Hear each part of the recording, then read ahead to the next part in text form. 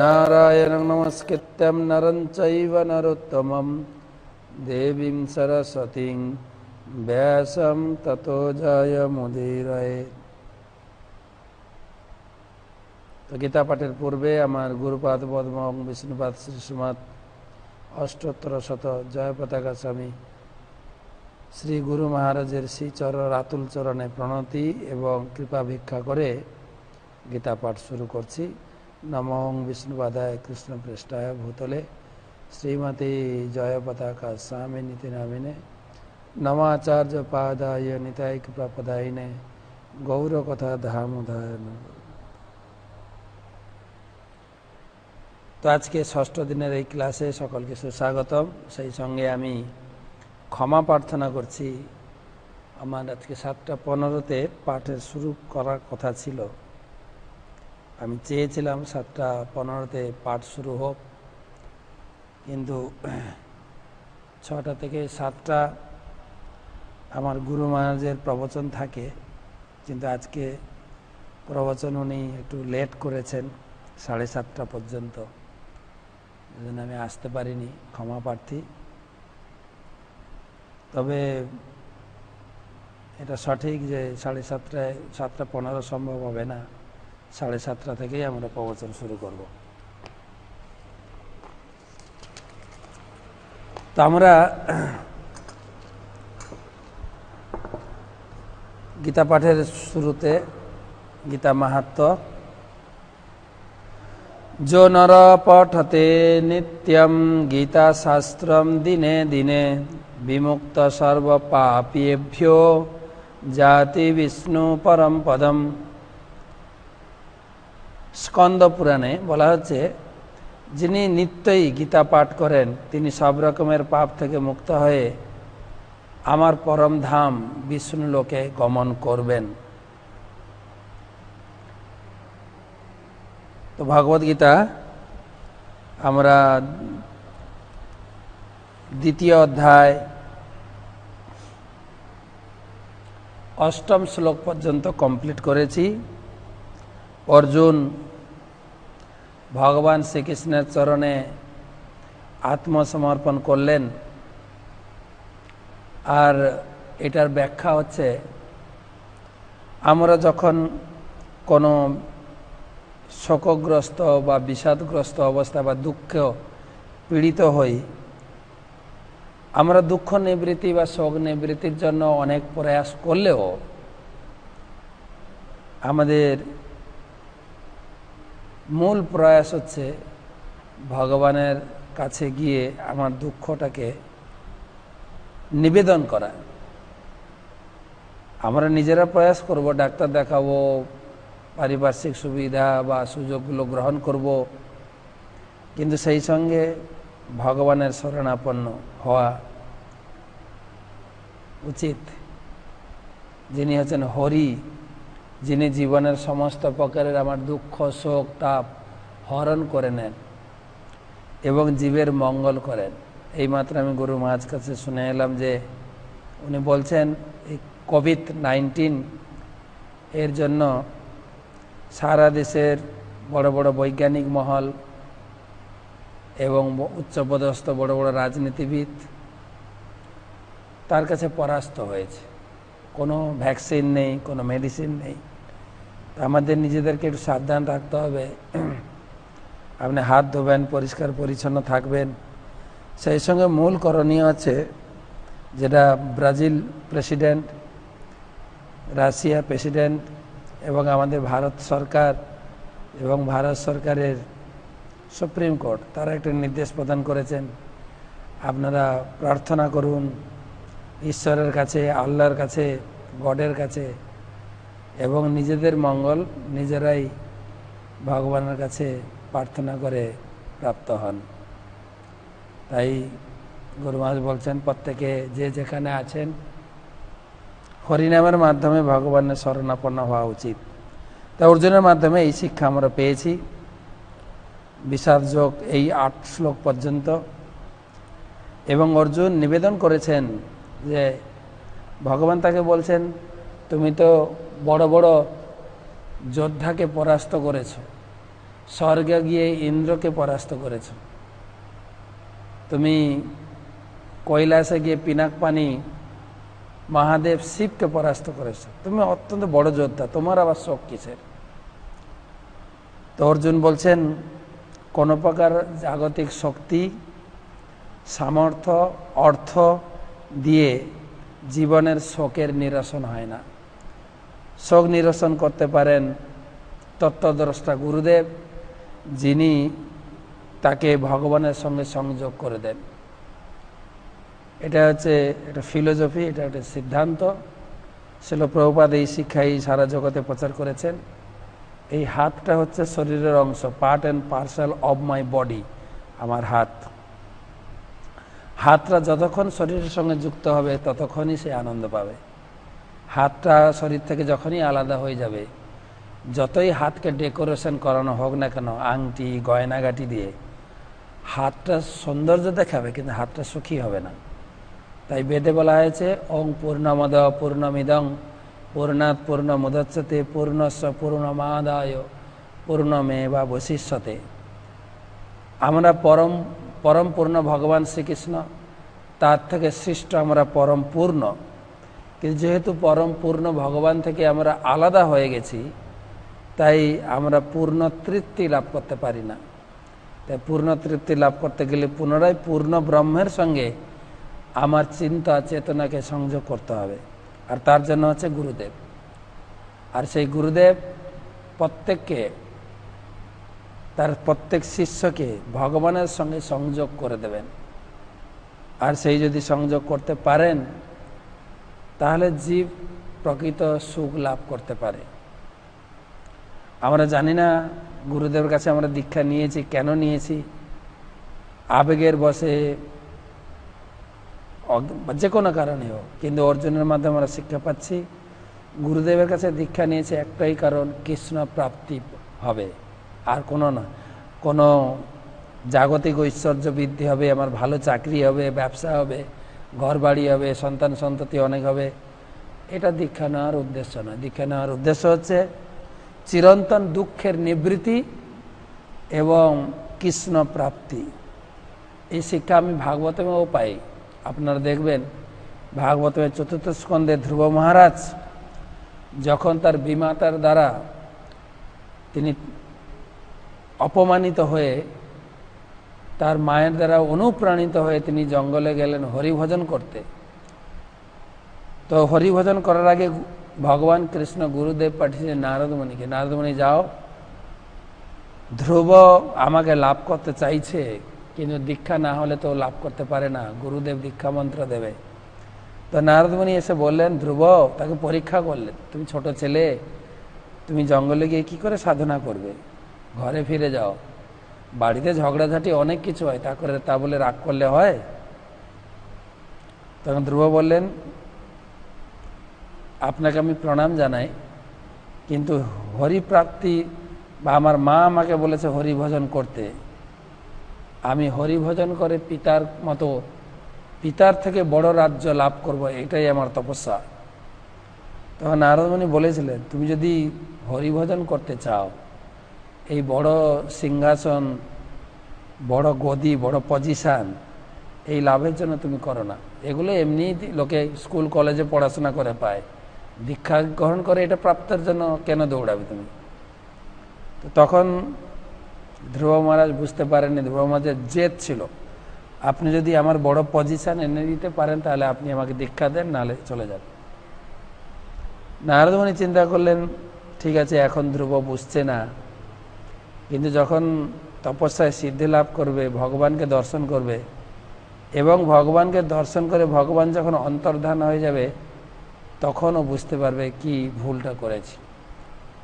তাই ধ্রুব মহারাজ ছ মাসে সিদ্ধি লাভ করলেন, ভগবানকে দর্শন করলেন, ভগবান থেকে আশীর্বাদ করলেন, তুমি ঘরে ফিরে গিয়ে ছত্রিশ হাজার বছর রাজত্ব করো, তারপরে তুমি আমার কাছে আসো। ধ্রুব তখন পস্তাচ্ছিলেন যে, আমি কি ভুল করলাম? ভগবান এসছিলেন, আমি যদি ভগবানকে নিবেদন করতাম, ভগবান আমাকে নিয়ে চলে যেতে পারতেন তার ধামে। তিনি নিজের গাড়ি নিয়ে এসেছিলেন, গরুর সহ এসেছিলেন। তাই তিনি পস্তাতে গিয়ে মন্ত্র বলছেন, স্তনাভিলাষী তপসী স্থিত অহম তং প্রাপ্তবান দেব মনেন্দ্র গুহ্যম। কাচং বিচিন্নম অপি দিব্যরত্নম, স্বামীন কৃতার্থ অপি বরম ন যাচে। হরিভক্তি সুধোদয় গ্রন্থে এই ধ্রুব মহারাজের এই শ্লোক পাওয়া যায় যে আমি কত মূর্খ, স্থানা অভিলাষী তপস্বী স্থিত হব বাবার মতো বড় পজিশন পাওয়ার জন্য আমি হরির তপস্যা করেছিলাম তপস্বী স্থিত হব তপস্যায় রত হয়েছিলাম। ছ মাস কঠোর তপস্যা করে তাং প্রাপ্তবান আমি ভগবানকে পেয়েছিলাম। যে ভগবান হচ্ছেন দেব মনিদ্র গুহ্যম দেবতারা ভগবানকে লাভ করতে পারে না। মনি ঋষিরা কঠোর তপস্যা করেও ভগবানকে লাভ করতে পারে না। সেই ভগবানকে আমি ছ মাসে পেয়েছিলাম। কাঁচং বিচ্ছিন্নম অপিদিব্য দিব্য রত্নম। তিনি উদাহরণ দিচ্ছে, আমি জগ, আমি এখান থেকে বুঝতে পারছি যে আমার চিন্তাধারাটা ছিল দু চার টুকরা কাঁচ পোড়ানোর জন্য আমি এখানে এসেছিলাম তপস্যা করতে। কিন্তু ভগবানের কৃপায় আমি ভগবানকে দর্শন পেয়েছিলাম। দিব্য রত্ন আমার হাতে পেয়েছিলাম ভগবানকে। কিন্তু স্বামীন কৃতার্থ অস্মি বরম না যাচ্ছে হে প্রভু, সেই প্রভু আমার মনোবাসনা, আমার এই যে পূর্ব বাসনা পিতার থেকে উচ্চ পথ চাই, সেই বাসনা দেখে তিনি আমাকে বঞ্চিত করে চলে গেলেন। তখন খুব ছিলেন কেন আমি এই জাগতিক অভিলাষ নিয়ে কেন তপস্যা করলাম? তাই এই শিক্ষার মাধ্যমে অর্জুনের দীক্ষা নেওয়ার মাধ্যমে আমরা বুঝতে পারছি, দীক্ষা নিচ্ছি কেন, নিয়েছি কেন, বা দীক্ষা নেব কেন? কেবল কৃষ্ণ প্রাপ্তি আর কৃষ্ণ প্রাপ্তি হলে আপনার সব প্রাপ্তি হয়ে যাবে, আর কিছু লাগবে না। এক ব্যক্তি, এক রাজা, তিনি গ্রামে এসেছিলেন। না সরি কাহিনীটা এরকম ছিল, রাজা ঘোষণা করেছিলেন যে সামনে এই পূর্ণিমা তিথিতে যেরকম আগামী আট তারিখ, আজকে আজকে সাত, ছয় ছয়, কালকে সাত, পরশু দিন পূর্ণিমা আগামী পূর্ণিমা তিথিতে যে আমি অকাতরে দান করব। প্রজা, আমার রাজ্যের যত সমস্ত প্রজা আছে, যে যা চাইবে আমি অকাতরে বিতরণ করব। তো গ্রামের প্রচুর লোক এসেছেন দান নেওয়ার জন্য সব চাইছে, যে যা চাইছে দিয়েছে। তো এক গ্রামের বৃদ্ধ ব্যক্তি তিনি যাচ্ছেন না। তো সবাই গ্রামের লোক বলছে আরে, সবাই রাজার কাছে যাচ্ছে। যে যা প্রার্থনা করছে, কার চাকরি চাই, কারও টাকা চাই, কারও ধন সম্পদ চাই, কারও জমি জায়গা চাই কারও মেয়ের বিয়ে হচ্ছে না সব কিছু বন্দোবস্ত চাই। যে যা চাইছে রাজা দিচ্ছে। তুমি কেন যাচ্ছ না? ভদ্রলোক বলেছিলেন, বয়স্ক ব্যক্তি যে আমি ভগ, এই রাজার রাজ্যে খুব সুখে আছি। রাজার খুব সুদক্ষ পরিচালনায় আমি তার রাজ্যে সব কিছু প্রাপ্ত হয়ে আমি সুখে জীবনযাপন করছি। আমি রাজাকে ধন্যবাদ জানাই, রাজার মঙ্গল কামনা করে। আমার কিছু লাগবে না। তো গ্রামের লোক জোর করতে থাকে, আরে, সেটা ঠিক আছে। কিন্তু রাজা যেহেতু দিতে চাইছে, তোমার নিতে অসুবিধা কি? তুমি চলো। তো সবাই জোর করে তাকে নিয়েছে রাজার সামনে নিয়ে এসছেন। রাজা বলছে, আপনি চান? আমি প্রতিজ্ঞা করেছি, যে যা চাইবেন আমি দেব। দয়া করে আপনি আমার কাছে কিছু চান, আমি দেব। আপনার কি বাসনা? তখন সে বয়স্ক ব্যক্তি, ভদ্রলোক, উনি বলছেন, হে মহারাজ, আপনার এই রাজ্যে আপনার সুদক্ষ পরিচালনায় এই রাজ্যে বাস করে আমি ধন্য হয়েছি। সব দিক থেকে আমি সুরক্ষিত এবং আমি খুব সুখী। তো আপনি প্রতিজ্ঞা করেছেন যে আপনি কিছু দেবেন। তাই আমি আপনার কাছে আজকে প্রার্থনা করি, আপনি, আপনার সঙ্গে আমি সক্ষতা আপনি আমার আত্মীয়, আপনাকে আমি বন্ধুরূপে স্বীকার করতে চাই। আপনি আমার বন্ধু। আর এই বন্ধুকে যদি আপনি কোনোদিন মনে করেন, আমার মতো এই গরিবের বাড়িতে আপনি একবার বন্ধুর বাড়ি মনে করে আমার বাড়িতে আপনি একদিন পদার্পণ করবেন। রাজা বললেন তথাস্থ তখন গ্রামের লোকেরা বললেন, আরে, তুমি এই রাজ, বন্ধুত্ব করে কি হবে? আর তুমি রাজাকে ইনভাইট করলে? বলে, আমি যা করেছি, ঠিক করেছে।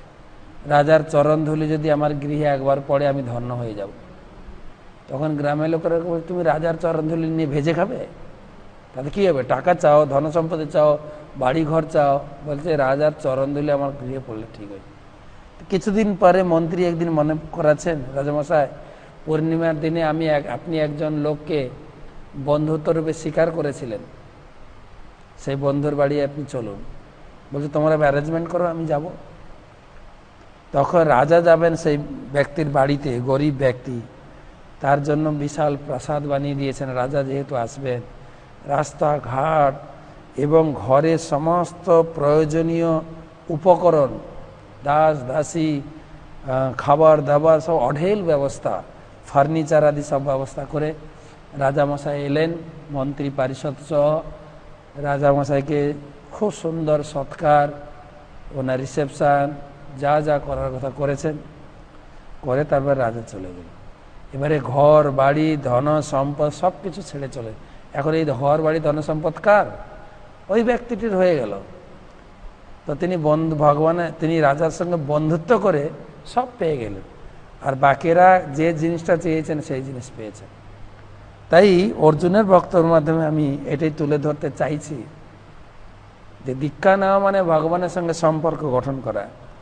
আর কেউ যদি ভগবানের সঙ্গে সম্পর্ক গঠন করে দিতে পারেন তিনি হচ্ছেন গুরুদেব। আর ভগবানের সঙ্গে আপনার সম্পর্ক গঠন হয়ে গেলে ভগবানকে আপনার প্রাপ্তি হয়ে গেলে এই দুনিয়ায় আর আপনার কিছু প্রয়োজন নেই। আপনার সব প্রাপ্ত হয়ে গেল। যাই হোক, অর্জুন বলছেন, আমি তোমার চরণে আত্মসমর্পণ করলাম। তুমি আমাকে শিষ্যরূপে স্বীকার করো এবং আমাকে গাইড করো, আমাকে পরিচালনা করো। অর্জুনের বক্তব্য সম্পূর্ণ। এবারে সঞ্জয় কথাকে এগিয়ে নিয়ে যাচ্ছেন। দ্বিতীয় অধ্যায় নয় নম্বর শ্লোক দেখুন।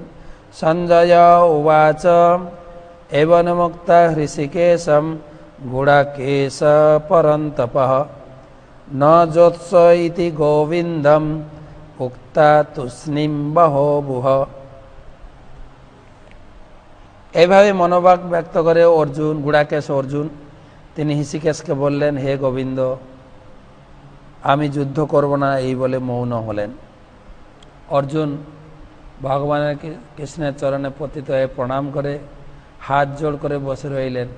আমি তোমার শিষ্য, আমি যুদ্ধ করতে চাই না। আর আমাকে তুমি পরিচালনা করো, আমার কিসে মঙ্গল হবে। দশ নম্বর শ্লোক। তমোবাচ হৃষিকেশः পহসন্নীব ভারত।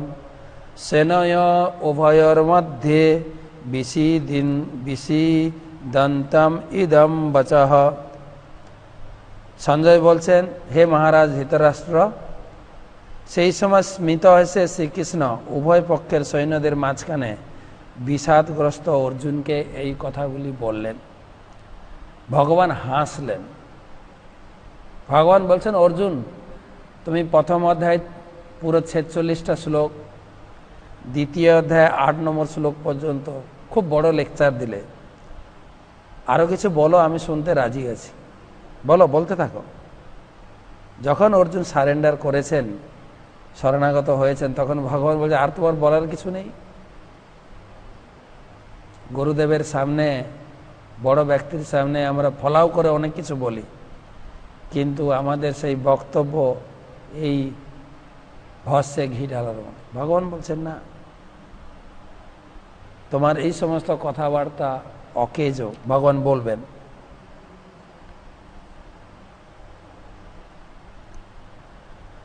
এগারো। শ্রী ভগবান বাচ এখান থেকে ভগবত গীতার জ্ঞান শুরু হবে। এর আগে অর্জুনকে তিনি সে ভগবান বাচ আমরা শুনেছি, অর্জুনকে তিনি বসে পড়েছিলেন, যুদ্ধ করবেন না বলে তাকে তুলেছিলেন। আর এখনই ভগবত গীতা অরিজিনালি শুরু হচ্ছে। অসচ্চানমনুশোচস্তম প্রজ্ঞাবাদাংশ ভাষসে গতাসুন গতাসুংশ্চ নানু শোচন্তি পণ্ডিতা। পরমেশ্বর ভগবান বললেন, অর্জুন,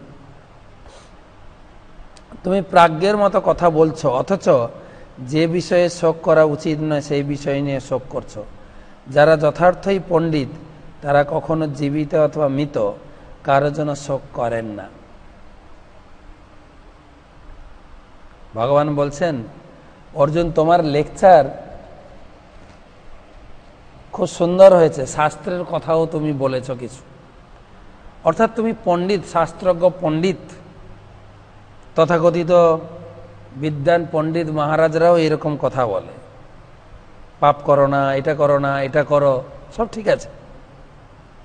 কিন্তু সমস্ত শাস্ত্রের মূল কথা হচ্ছে, কারও মৃত্যুতে কেউ যেন শোক না করে। কেন? না, মানুষ মাত্রেই মৃত্যু হয়, আর শরীরটার মৃত্যু হয়, আত্মার মৃত্যু হয় না। তাই বিদ্যান ব্যক্তি, যিনি পণ্ডিত ব্যক্তি, তিনি শোক করেন না। ভগবান অর্জুনকে এখানে মূর্খ বলে সম্বোধন করেছেন। তোমার কথাবার্তা পণ্ডিতের মতো, কিন্তু আসলে তুমি মূর্খ। শাস্ত্রের গূঢ় অর্থ তুমি বুঝতে পারোনি। শাস্ত্রের গূঢ় অর্থ হচ্ছে যে ভগবানের সঙ্গে নিজেকে যুক্ত করা আর অনুভব করা উচিত, আমি দেহ নই, আমি আত্মা। অর্থাৎ এই শরীরটা বারবার চেঞ্জ হবে। যেরকম পরে শেখাবেন, কৌমারং যৌবনম জরা। আমি যখন প্রথম মায়ের গর্ভ থেকে জন্মগ্রহণ করে সেই একটা শরীর ছিল। তারপরে আমি এখন বড় হয়েছি, স্কুলে পড়াশোনা করলাম, শরীর চেঞ্জ হয়েছে। তারপরে এখন বড় হয়েছে, যুবক হয়েছে, শরীর আছে, এই শরীর বৃদ্ধ হবে। শরীর তো চেঞ্জ হচ্ছে, এই শরীর তো একদিন মৃত্যু হবে। তো শোক করার কি আছে? তো তুমি মূর্খ। এখানে একটা দেখার বিষয়, খুব ইন্টারেস্টিং ভগবান অর্জুনকে মূর্খ বলেছেন। আচ্ছা অর্জুনকে সত্যিকারেই মূর্খ ছিলেন।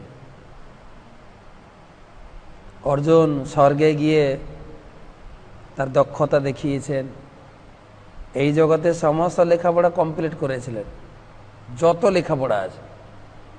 আপনার কলেজ ইউনিভার্সিটি বিদেশের ডিগ্রি সমস্ত কমপ্লিট বিদেশ শুধু নয়, তিনি স্বর্গে গিয়ে ডিগ্রি লাভ করেছিলেন। তিনি কৈলাসে গিয়ে ডিগ্রি লাভ করেছিলেন। তবুও ভগবান তাকে মূর্খ বলেছেন। দুটো অর্থ কেন মূর্খ বলেছেন? একটা অর্থ হচ্ছে ভগবত গীতাকে বুঝতে গেলে জাগতিক পাণ্ডিত্য দিয়ে বোঝা যায় না। কেউ যদি মনে করে আমি সংস্কৃতে পণ্ডিত, আমি গীতা সংস্কৃত কথা বুঝে নেব, সে কোনো দিন গীতার অর্থ বুঝতে পারবে না।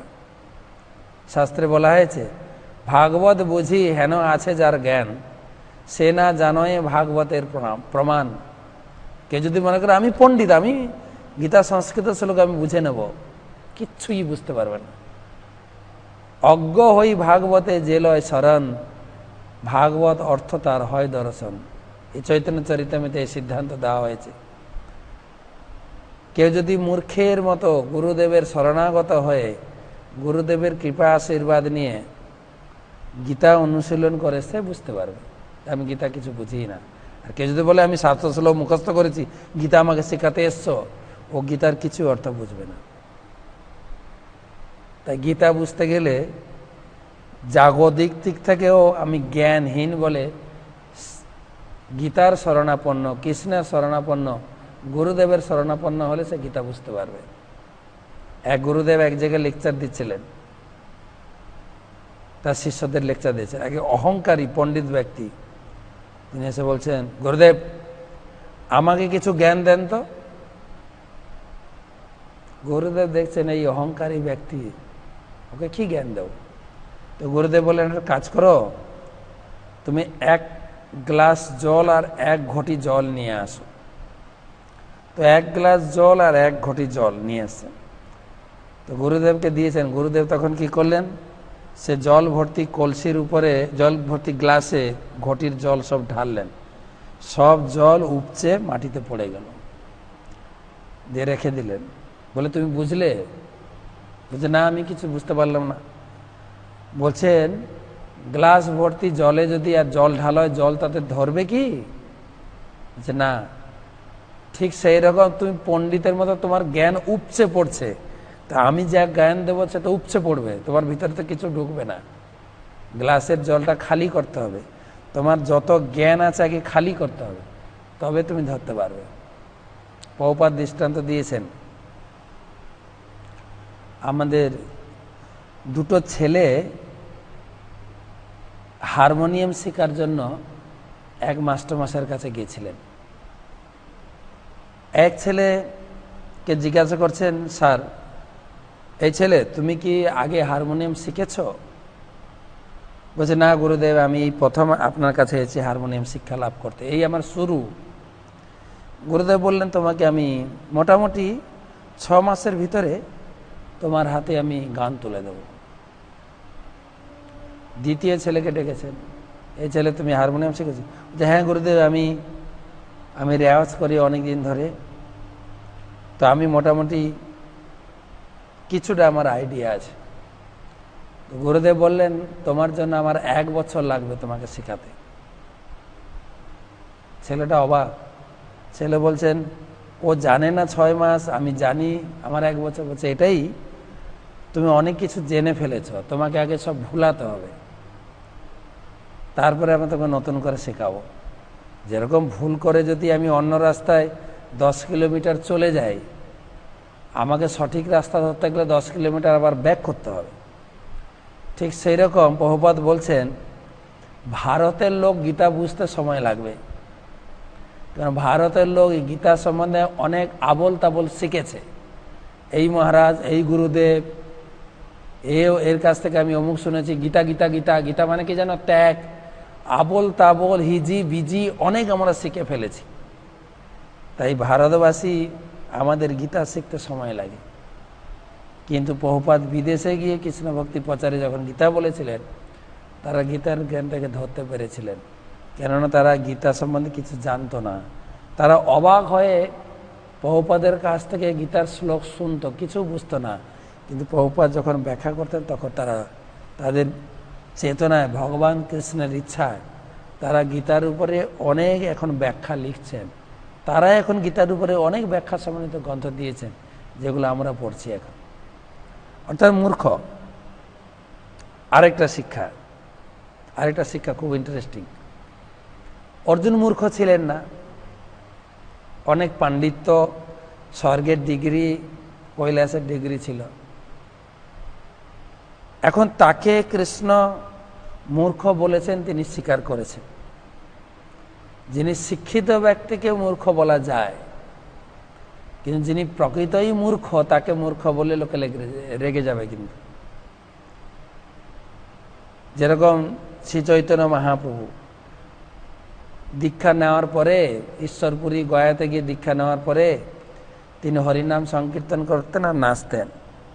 কিন্তু প্রকাশানন্দ সরস্বতী সেই সম্প্রদায়ে তিনি মহাপ্রভুর নিন্দা করলেন, এই সন্ন্যাস দীক্ষা নিয়েছে বেদ পড়বে। কিন্তু ইয়ে ধেই ধেই করে হরিনাম সংকীর্তন করে নাচে কেন? এটা কি যুক্তি সন্ন্যাসী? তোর তো হরিনাম করা, ওর তো বেদ পড়া উচিত। তখন অন্যান্য সন্ন্যাসীরা বললেন, তাকে ডাকা হোক, তার কাছ থেকে শোনা হোক। তখন মহাপ্রভু বলছেন, তার উপলব্ধি। তিনি বলছেন, প্রভু বলে, শুন শ্রীপাদ, ইহার কারণ গুরু মরে মূর্খ দেখি করিল শাসন। তখন বলছেন, হে সন্ন্যাসী বৃন্দ, আমি কেন বেদ পড়ি না? এর কারণ শুনুন। আমি যখন দীক্ষা গ্রহণ করেছিলাম, আমার গুরুদেব আমাকে মূর্খ দেখে শাসন করেছিলেন। মূর্খ তুমি, তোমার নাহি, বেদান্ত অধিকার। কৃষ্ণ মন্ত্র জপ সদা, এই মন্ত্র সার। তুমি মূর্খ, বেদ পড়তে পারবে না, কেবল হরিনাম করবে। কৃষ্ণ নাম হইতে হবে সংসার মোচন কৃষ্ণ নাম হইতে পাবে কৃষ্ণের চরণ। তুমি কৃষ্ণ নাম করো, কৃষ্ণের চরণ পাবে। তো মহাপ্রভু নিজেকে দেখিয়েছেন, আমি মূর্খ। আপনারা বলুন তো, মহাপ্রভু মূর্খ ছিলেন না পণ্ডিত ছিলেন? সবাই জানে, নিমাই পণ্ডিত। তাই পণ্ডিতকে মূর্খ বলেছেন সেটা গ্রহণ করা যায়। মহাপ্রভু স্বীকার করেছেন। কিন্তু আমরা, আমাদেরকে মূর্খ বললে আমরা রেখে যাব। কেন? না, আমরা প্রকৃতই মূর্খ। একটা উদাহরণ দেওয়া যায়। ধরুন, ছোট্ট মেয়ে বাড়িতে আছে। তাকে আমরা অনেক আদর করে ডাকি, এই বুড়ি এদিকায় ও রেগে যায় না আনন্দ পায়। ও মনে করে, বাবা আমাকে আদর করে ডাকছে, বাড়ির লোকেরা আমাকে আদর করে ডাকছে। ও আনন্দ পায়, ওকে বুড়ি বলে আনন্দ পায়। কিন্তু ও বুড়ি না। কিন্তু কোনো বুড়িকে আপনি বুড়ি বলে ডাকুন না। এ বুড়ি, আমরা কলকাতায় প্রচারে ছিলাম একটা বাড়ি আমরা ডোনেশন পেয়েছিলাম। সে বাড়ির স্বামী স্ত্রী, তাদের কোনো সন্তান ছিল না, সেই জন্য বাড়িটা আমাদের দান করেছিলেন। আমরা দোতলায় থেকে প্রচার করতাম, উপরতলায় ভদ্রমহিলা, ভদ্রলোক থাকতেন, ভক্তরা খুব সম্মান করতেন। একদিন মায়াপুর থেকে এক ভক্ত গেছেন কিছু প্রসাদ নিয়ে গেছেন। উনি খুব আনন্দ সহকারে বলছেন ঠাকুর ঠাকুমা, আপনার জন্য আমি মায়াপুর থেকে প্রসাদ নিয়ে এসেছি। ভদ্রমহিলার বয়স ছিল পঞ্চান্ন, ভদ্রলোকের বয়স ষাট। আর অত্যন্ত রেগে গেলেন। এ বিয়া দাও তুমি আমাকে ঠাকুমা বলছো কেন? কাকিমা বলতে পারো না? তো বয়স্ক ব্যক্তিকে বয়স্ক ব্যক্তি বলে রেগে যাবে। ঠিক সেই রকম আরেকটা ঘটনা আমার মনে পড়ে। একদিন আমাদের ভক্তরা প্রচার করতে যাচ্ছেন? প্রচার করতে যাওয়ার জন্য ওই দিনই মাথা নাড়া করে গেছেন। আর মাথা নাড়া করেছেন, স্নান করেছেন, তেল লাগিয়েছেন, আর সূর্যের যে পড়েছে বিকালবেলা, ঠিক চারটার দিকে সূর্যের জ্যোতি পড়েছে, আর এত ফ্রেশ লাগছে। আর ওই কলেজের পাশ দিয়ে যাচ্ছিল, কলেজ ছুটি হয়েছে। আর ওই সময় কলেজে ছেলেমেয়েরা বেরিয়েছে। আর দেখ দেখ দেখ দেখ টাকলুরা যাচ্ছে, টাকলু টাকলু, এই টাকলু এই টাকলু, ছেলেমেয়েরা পিছনে লেগেছে। ভক্তরা কিছু মনে করছে না। ভক্তরা তো টাকলু না তো। তারা তো অরিজিনাল টাকলু না, তারা মাথা সেভ করেছে। চৈতন্য মহাপুরু চরণ আত্মসমর্পণ করেছে। সেই জন্য তারা শিক্ষা ধারণ করে মাথা মুন্ডন, কেশ মুন্ডন করেছে। কিছুই মনে করছে না। তারা কলেজের পাশ দিয়েছিল আর ছেলে মেয়েরা পিছনে বলতেই বক বক বক বক করতেই থাকল টাকলু টাকলু এই টাকলু যাচ্ছে। দেখ দেখ দেখ, কীরকম টাকলু কিছু মনে আর এরকম বলতে বলতে ছিল ছেলে মেয়েরা। পিছন থেকে একটা অরিজিনাল টাকলু ব্যক্তি ঢুকছিল, আসছিল। ও তখন মাথায় দিকে টাকলুটা আমাকে বলছে না? এই বেয়াদব ছেলে মেয়ে, তোমরা লোককে সম্মান দিতে জানো না, তোমরা শিক্ষিত ছেলে মেয়ে, আমাকে টাকলু বলছো? এই বেয়াদব একদম তেড়ে উঠেছে মারার জন্য। আর থানায় গিয়ে ওদের নামে ডায়েরি করেছে, কেননা ও ছিল অরিজিনাল টাকলু। তো প্রশ্ন হচ্ছে, আমরা পণ্ডিতের মতো অভিনয় করি, কিন্তু আমাদেরকে গীতা পড়ার জন্য মূর্খতা মূর্খতা অনুভব করতে হবে, যে আমি গীতা কিছুই জানি না। সেজন্য গীতা পড়ার সময় গুরুদেবের কাছে অত্যন্ত করুণা প্রার্থনা করে, হে গুরুদেব, আমি যেন গীতার দুটো অর্থ আমি বুঝতে পারি। তাই অর্জুনকে, অর্জুনের মাধ্যমে ভগবান শিক্ষা দিয়েছেন, অর্জুন, তুমি মূর্খ, যে বিষয়ে শোক করা উচিত নয়, সেই বিষয়ে তুমি শোক করছ। এবারে জ্ঞান শুরু হচ্ছে, নতে বাহম জাতুনাসম নতং নেমে জনাধিপাহ। ন চৈব ন ভবিষ্যাম সর্বে মত পরম। কেন তুমি মূর্খ? না, আত্মা দেহের পার্থক্য তুমি জানো না। এই আত্মাকে, আত্মা চিরন্তন সত্য। এমন কোনো সময় ছিল না, আমি, তুমি এই সমস্ত রাজারা ছিলেন না। আর ভবিষ্যতেও কখনো এদের অস্তিত্ব বিনষ্ট হবে না। যে যাদেরকে তুমি মনে করছ আমি মেরে দিলে অস্তিত্ব শেষ হয়ে যাবে না? জীব সবসময় আছে, শুধু শরীর চেঞ্জ করছে। চুরাশি লক্ষ প্রজাতি জীব শরীর চেঞ্জ করছে। কিন্তু আমাদের অস্তিত্ব সবসময় রয়েছে।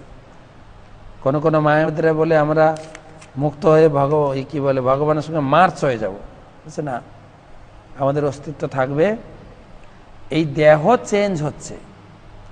তেরো নম্বর শ্লোক, দেহ অনস্মিন যথা দেহে কৌমারম যৌবনম জরা। তথা দেহান্তর প্রাপ্তি ধীরস্তত্র নমইহতি দেহির দেহে দেহ যেভাবে কৌমার যৌবন জরার মাধ্যমে রূপ পরিবর্তন করে, মৃত্যুকালে তেমনি এই, ওই দেহি এক দেহ থেকে অন্য দেহে স্থানান, দেহান্তরিত হয়। তাই পণ্ডিত ব্যক্তিরা এতে মুজ্জমান বা শোকাভূত হন না। দেহি মানে হচ্ছে আত্মা। আত্মার এটা হচ্ছে দেহ। এর ভিতরে আত্মা আছে। দেহটা পরিবর্তন হয়েছে। আমি ছোট ছিলাম, কৌমার, যৌবন, তারপরে বৃদ্ধ হব। শরীর চেঞ্জ হবে কিন্তু। আমি, আমার বয়স যখন ছ মাস ছিল, যে শরীর ছিল, আজকে সে শরীর নেই। কিন্তু ব্যক্তি আমি কিন্তু। ছ মাসের সময় আমার যা নাম ছিল, এখনও সেই নাম। সেই ব্যক্তি আমি। কিন্তু শরীর তো চেঞ্জ হয়েছে। আর এখন যুবক আছি, আমি যত প্রকারের কসমেটিক্স ব্যবহার করি না কেন, আগেকার দিনে লোকে কসমেটিক্স ইউজ করতো না, কেউ মনে করতে পারে সেই সমস্ত লোকরা বুড়ো হতো। আমরা কিন্তু বুড়ো হব না, কেননা প্রচুর কসমেটিক্স ব্যবহার করছি। তর তাজা থাকব, কত অ্যাডভার্টাইজমেন্ট টিভিতে পেপারে এই গরমের দিন আসছে ময়শ্চারাইজিং ক্রিম ব্যবহার করো। তোমার গালটা লাল হয়ে যাবে না, কালো পড়বে না, সবসময় তর তাজা ফ্রেশ থাকবে। ব্যবহার করুন। আপনি কতদিন থাকবেন? কতদিন ব্যবহার করবেন? আপনি বুড়ো হবেন না? ব্যবহার করতে করতে একদিন আসো, গাল টাল সব শুকিয়ে যাবে। অবশ্যই। বৃদ্ধ একদিন, ভগবান বলছেন কৌমার, যৌবন, বৃদ্ধ, বৃদ্ধর পরে মৃত্যু। আর মৃত্যুর পরে এই আত্মা আরেকটা শরীর ধারণ করবে। আত্মার মৃত্যু নেই কিন্তু। যেরকম আমরা বলি, আমার যদি আমার দাদু মারা যায় বা বাবা মারা যায়, আমার বাবা আমাদের ছেড়ে চলে গেছেন। মানে বাবা চলে গেছেন, বাবা মারা যান না। বাবারা হিন্দি ভাষী বলে না যে মেরে পিতাজি দেহ ছড়কে চালা গিয়া। দেহটা এখানে পড়ে থাকবে। দেহটাকে এখানে ছেড়ে দেবেন। আমরা এটা এটা মৃত্যুর সময় আমরা অনুভব করি। কিন্তু সবসময় অনুভব হয় না, ভুলে যায়। তাই এখানে ভগবান শ্রীকৃষ্ণ বলছেন, আমরা দেহ নই, আমরা হচ্ছে আত্মা। আমরা তো যখন কেউ পরিচয় দেয়, বাবু, আপনি, আপনার পরিচয়, আমি অমুক জায়গায় অমুক জায়গায় আমার বাড়ি, অমুক নাম, এই পজিশান এগুলো কোনোটাই কাজ করবে না। মূলত আসল পরিচয় হচ্ছে আমি আত্মা। এই আরও স্থূলভাবে বোঝানো যায়। ধরুন, আমার বাবা মারা গেছেন। বাবার শরীরটাকে নিয়ে আমরা কান্না করছি। কান্না করছে, আমার বাবা চলে গেছেন। কেউ যদি প্রশ্ন করে তোমার বাবা তো শুয়ে আছেন, কান্না করছে কেন? না, বাবা ছেড়ে চলে গেছে। কে চলে গেছেন যদি প্রশ্ন করা হয়? যে আত্মা চলে গেছে। তাহলে বাবা কোনটা? আত্মাটা না দেহটা? বাবা চলে গেছেন মানে আত্মা চলে গেছেন। তা বাবা হচ্ছেন আত্মা। তাহলে দেহকে এতদিন আমরা ভুল করে বাবা ডাকতাম। তাই বাবা চিন্তা করলেন, তুমি তো আমাকে চেনো নাই। এতদিন আমার দেহটাকে নিয়ে আনন্দ করেছ। তাই দেহটা তোমাদের জন্য রেখে গেলাম, আমি চললাম। তাই ভগবান এখানে বলছেন, আমার বাবা চলে গেছেন। এটা আমরা হিন্দুরা, বাঙালিরা অনুভব করি। দেহটাকে নিয়ে আমরা শ্মশানে পুড়িয়ে দিই বা সমাধি দিয়ে দিই। পরের দিন আবার আমরা কি কালচার আমাদের হিন্দু কালচার আমরা শ্রাদ্ধ অনুষ্ঠানের জন্য যে কদিন আমরা পালন করি, কারও পনেরো দিন, এগারো দিন, এক মাস সেই কদিন আমরা খেতে দেব। কারও কারও দেখি কালচার আছে, ঘরের বাইরে খেতে দেবে। কাক এসে যদি খেয়ে যায়, তখন বলবে হ্যাঁ আমার বাবা এসে খেয়ে গেছে। তার মানে পরের দিন বাবা কাক হয়ে গেছেন। এই কালচারগুলো ভুল কালচার তা আমরা বলি যে বাবা খেয়ে চলে গেছেন। তো এগুলো নয়। তবে বাবা তার কর্ম অনুযায়ী সে শরীর পাবে, কাক হতে পারেন, গাছপালা হতে পারেন, পশু পাখি হতে পারেন, উন্নত জীব হতে পারেন, মনি ঋষি হতে পারেন, স্বর্গের দেবতাও হতে পারেন তার কর্ম অনুযায়ী। তবে মূল বক্তব্য হচ্ছে ভগবান এখানে বুঝাচ্ছেন যে বাবা আরেকটা জীবন পাবেন, এই শরীরটা যখন বুড়ো হয়ে যায়, অকেজ হয়ে যায় কষ্ট করে এই শরীরে থাকবে কেন? এই শরীরটা ছেড়ে আরেকটা শরীর যাবে। এইটা বিদ্যান বা পণ্ডিত ব্যক্তিরা এটা অনুভব করে দুঃখিত হন না। তো অর্জুন মনে মনে প্রশ্ন করছেন, ঠিক আছে কৃষ্ণ, তুমি যা বলছো যে আমার শোক করা উচিত নয়। কিন্তু একটা প্রশ্ন আছে, ভীষ্ম মারা গিয়ে ভীষ্মর শরীর এখন বৃদ্ধ হয়ে গেছে, সে মারা গিয়ে নতুন একটা শরীর ধারণ করবে, এটা ঠিক আমি বুঝলাম। কিন্তু ভীষ্ম শরীরে তো তাকে পাবো না, সে এখন কোন শরীর লাভ করবে? আমি আমার বাবাকে যেভাবে পেয়েছিলাম সেই বাবাকে তো পাবো না, তার জন্য দুঃখ আছে, কান্না আছে, আমি কি করব। তখন ভগবান উত্তর দিচ্ছেন চৌধুরী নামাজ শ্লোকে। মাত্রা স্পর্শাস্তু কন্তে শীতষ্ণু সুখ দুঃখদা, আগম অপায়ন নিত্যম তাম তিতিক্ষস ভারত। হে কন্ত ইন্দ্রিয়ের সঙ্গে বিষয়ের সংযোগের ফলে সুখ দুঃখের উদয় হয়। এটা ঠিক শীত ও গ্রীষ্ম ঋতুর গমনাগমনের মতো। হে ভরত কুলপতি অর্জুন, এইভাবে ইন্দ্রিয়জাত অনুভূতি দ্বারা প্রভাবিত না হয়ে সেগুলি সহ্য করো। এই সুখ দুঃখটা যার সঙ্গে যার সংযোগ তারই হয়। ধরুন, আমার বাবা মারা গেছে, আমার দুঃখ হবে। আপনার দুঃখ হবে না? ধরুন, আরেকটা স্থূল উদাহরণ দিই, ধরতে পারেন কিনা? তো গাড়ি করে আমরা একটা গাড়ি ভাড়া করে আমরা এখান থেকে মায়াপুর থেকে কলকাতা যাচ্ছি। রাস্তায় গিয়ে কোনো প্রকার অ্যাক্সিডেন্ট হয়ে গাড়িটা একদম ভেঙে চুরমার হয়ে গেল। প্যাসেঞ্জাররা নেমে চলে গেল। প্যাসেঞ্জার একটু কষ্ট পেল ধাক্কাধুক্কি লেগেছে এবং তারা মনে করল, ভগবানের ইচ্ছায় আমরা অনেকটাই রক্ষা পেয়ে গেলাম। তারা যে যারা বাড়ি গিয়ে চিকিৎসা করল সব।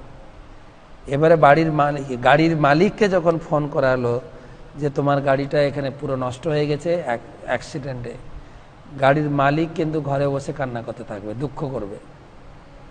আপনারা দেখুন, মালিক আছে ঘরে অ্যাক্সিডেন্টে তার গায়ে একটু আঘাত লাগেনি। কিন্তু মালিক দুঃখ পাবে। কেন?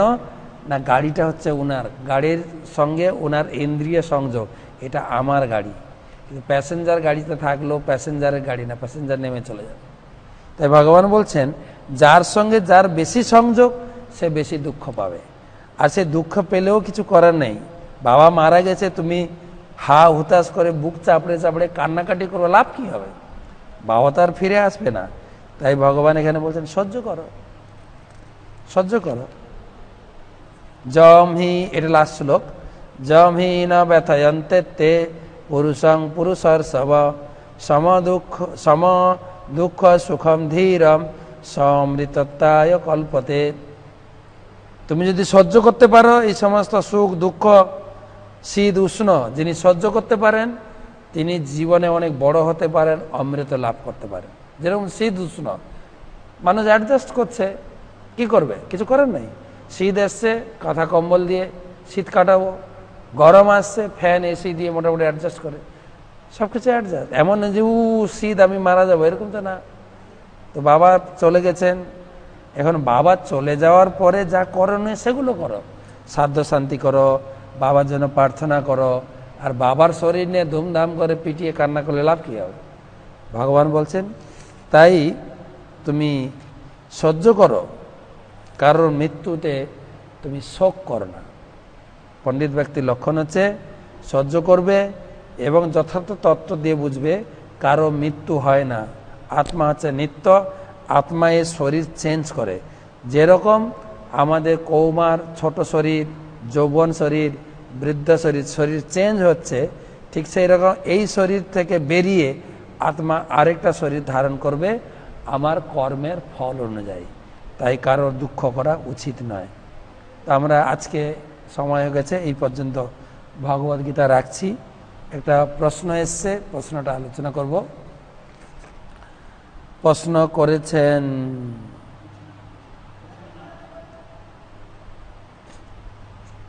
সমীরণ ঘোষ বাঁকুড়া থেকে ওনার প্রতিদিন কিছু না কিছু প্রশ্ন থাকে। অর্জুনকে গুড়াকেশ বলা হয়েছে মানে উনি নিদ্রা জয় করেছিলেন। তার কোনো প্রমাণ থাকলে যদি জানান। প্রমাণ তো আমি দিতে পারব না, শাস্ত্র থেকে যা পড়েছে সেটা বলতে পারব। আর প্রমাণ জানতে গেলে আপনার যদি সম্ভব হয় ওনাকে ডাইরেক্ট ফোন করুন। ওনার প্রমাণ উনি নিজে। কেন এই ইনি হচ্ছেন দাপর যুগে, আর আমি আছি এখন কলি যুগে।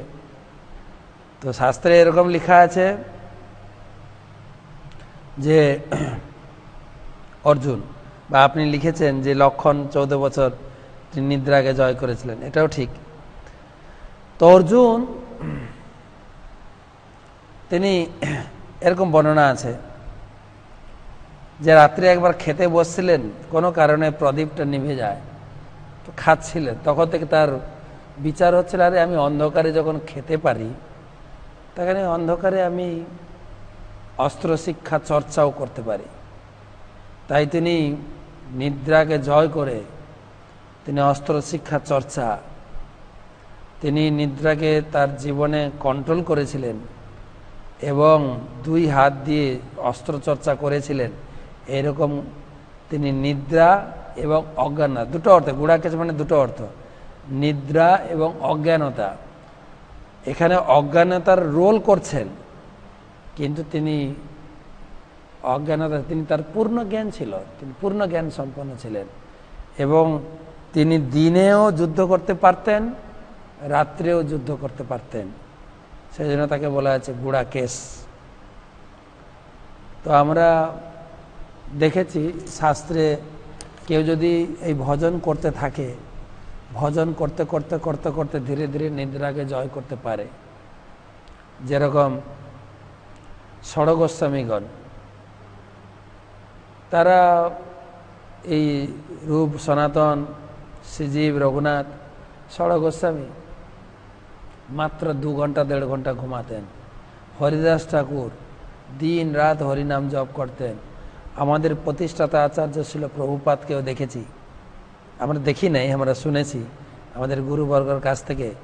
তিনি সারাদিন ভক্তদের নির্দেশ দিতেন, শিষ্যদের ক্লাস দিতেন কথা কত দীক্ষা অনুষ্ঠান। চৌদ্দ বছরের ভিতরে একশো আটটা মন্দির প্রতিষ্ঠা করেছেন। মন্দির পরিচালনা করা, মন্দির দেখাশোনা করার এসব কাজ করতেন, রাত্রে ঘুমাতেন, দশটা এগারোটার দিকে দু ঘণ্টা ঘুমাতেন। আবার ঘুম থেকে উঠে তিনি এই ভাগবতমের অনুবাদ করেছেন। কেননা ভোর হয়ে গেলে কাজ বেড়ে যাবে, চঞ্চল হয়ে যাবে। তাই গভীর রাত্রে তিনি ঘর বন্ধ করে গভীর চিন্তাধারা দিয়ে এই গীতা ভাগবতম ব্যাখ্যা করেছেন। মাত্র দু ঘণ্টা ঘুমাতেন। তো নিদ্রাকে জয় করতে পারে, কেউ যদি তপস্যা করে হরি ভজনে যুক্ত হয়। তো আর এটা করা সম্ভব যদি আমরা সুখ, দুঃখ শীত, উষ্ণ সব কিছুতে মানিয়ে নিয়ে হরি ভজনে যুক্ত থাকি। আমার পরিবেশ অনুকূল হোক, আমার পরিবেশ প্রতিকূল হোক, সব পরিস্থিতিতে মাত্রা স্পর্শাস্ত কন্তি ভগবান শিক্ষা দিচ্ছেন এই চৌদ্দ নাম্বার শ্লোকে। তুমি সবসময় স্থির থাকো, সহ্য করো।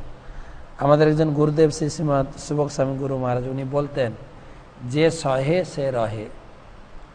যে সব কিছু সহ্য করে হরি ভজন করতে পারবে, সেই হরিকে প্রাপ্ত হবে, টিকে যাবে। আর যে নাশ হয়, আমি যদি সহ্য করতে না পারি, তার নাশ হয়, তার সর্বনাশ হয়ে যাবে। যদি চঞ্চল হয়, সহ্য করার শক্তি না বাড়াতে পারে, তাহলে জীবনে সে ফেলিওর হবে। তাই অর্জুনকে এখানে আজকে শিক্ষা দিলেন যে এই শরীর হচ্ছে অনিত্য, এই শরীর নষ্ট হবেই। এই শরীরকে নিয়ে যেন কেউ বেশি চিন্তা ভাবনা না করে। আত্মা নিয়ে চিন্তা করুন, আত্মা কীভাবে শরীর চেঞ্জ করছে। সেই আত্মার মঙ্গলের জন্য ভগবানের সঙ্গে যুক্ত হন। আর এই কলিযুগে ভগবানের সঙ্গে যুক্ত হওয়ার একটাই পন্থা, হরিনাম। হরে কৃষ্ণ হরে কৃষ্ণ কৃষ্ণ কৃষ্ণ, হরে হরে। হরে রাম হরে রাম রাম রাম, হরে হরে। হরিনাম করুন, ভগবানের সঙ্গে সবসময় যুক্ত থাকুন। আর নিজের জীবনকে আনন্দময়, মঙ্গলময় করুন। এই শারীরিক চিন্তা ভাবনার থেকে দূরীভূত হয়ে ভগবানের হরির নামের চিন্তায় মগ্ন হয়ে এই বর্তমান যে দুঃখ পরিস্থিতিকে আমরা ভুলতে পারব, ভগবানের করুণায় আমরা নিজেকে সুরক্ষিত রাখতে পারব। তো সবাইকে ধন্যবাদ। পুনরায় আপনাদের সঙ্গে কালকে দেখা হবে, কালকে সাড়ে সাতটা থেকে ক্লাস। সাতটা পনেরো সম্ভব হবে না, সাড়ে সাতটা আমরা আশা করছি। সাড়ে সাতটা থেকে সাড়ে আটটায় আবার আপনাদের সঙ্গে দেখা হবে। ভালো থাকুন, সুখে থাকুন, আনন্দে থাকুন। হরে কৃষ্ণ।